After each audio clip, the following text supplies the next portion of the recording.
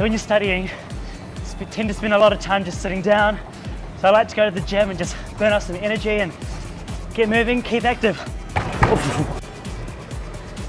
I'm just climbing my wall to success because I want to take care of my personal health, just like you should if you're going to do a law degree. Strong body, strong mind. How do I get down? So it's really important if you're not feeling too hot or the stress of the law degree, which I know from personal experience can be quite demanding. I hate stairs.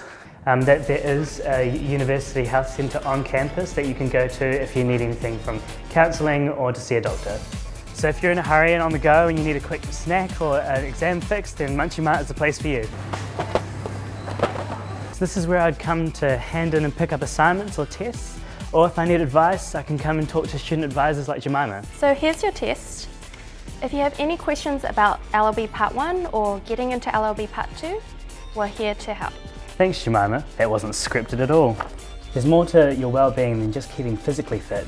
You also have to take time out of your day and your week just to be by yourself and have some you time. So, just to remember, keep active, make use of the services at uni like the health centre, and remember to take some time out for yourself.